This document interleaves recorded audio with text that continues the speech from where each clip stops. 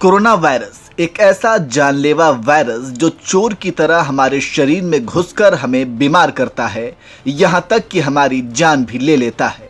Corona की चपेट में आने वाले बहुत से लोग इसकी कीमत अपनी जान गवाकर ही चुकाते हैं।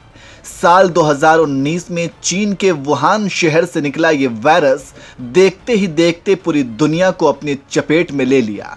क्या अमेरिका क्या ब्रिटेन, भारत सहित दुनिया के सभी ताकतवर देश इस वायरस के सामने घुटने टेक दिए थे और ये वायरस पूरी दुनिया में मौत का तांडव कर रहा था।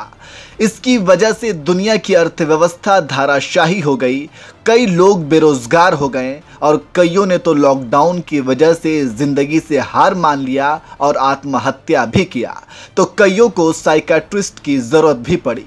खैर धीरे धीरे कोरोना का प्रकोप तो कम हुआ, लेकिन गाहे बगाहे कई बार और बार बार इस वायरस ने लोगों को डराया और लोगों की जान भी ली। कोरोना की रोकथाम के लिए भारत में तो बूस्टर डोज भी लगने शुरू हो गए और अब भारत में तो कोरोना से बहुत ही राहत है, लेकिन चीन में एक बार फिर से इस वायरस ने दस्तक दे दी है। न्यूज़ एजेंसी राइटर्स के मुताबिक 25 नवंबर को जारी आंकड़ों के मुताबिक चीन में एक बार फिर 24 घंटों में रिकॉर्ड बत्तीस मामले सामने आए हैं। चीन में लगातार दूसरे दिन कोविड के मामले तीस हज़ार से भी ज़्यादा आए हैं। वहीं एक दिन पहले कोरोना के इकतीस हज़ार चार सौ चौवालीस केस दर्ज किए गए थे, यानी कल के तुलना में आज एक हज़ार दो सौ सतासी लोग ज़्यादा पॉजिटिव हो गए हैं। आपको बता दें कि चीन में लंबे समय से ज़ीरो कोविड पॉलिसी लागू होने के बाद भी कोरोना पर अंकुश नहीं लग पा रहा है, और इसके मामले बढ़ते जा रहे हैं। खासकर जब चीन में सर्दी का मौसम आता है तो केसों की संख्या में बढ़ोतरी हो जाती है, और इस बार भी कुछ ऐसा ही होता दिख रहा है।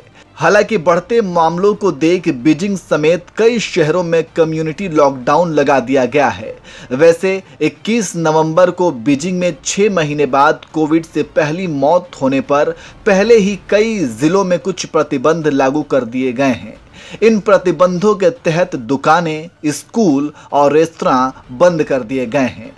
नेशनल हेल्थ कमीशन ने गुरुवार को आंकड़े जारी कर बताया था कि चीन में 24 घंटे में इकतीस केस दर्ज किए गए थे। हालाँकि चीन में अगर वैक्सीनेशन की बात की जाए तो करीब तिरानवे फ़ीसदी लोगों के वैक्सीन लग चुकी हैं।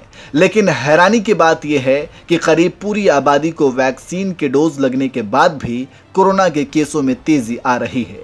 इन बढ़ते मामलों को देखते हुए प्रशासन ने लोगों को उनके फ्लैटों तक सीमित करते हुए विशाल अपार्टमेंट ब्लॉक और व्यावसायिक भवनों को बंद कर दिया है।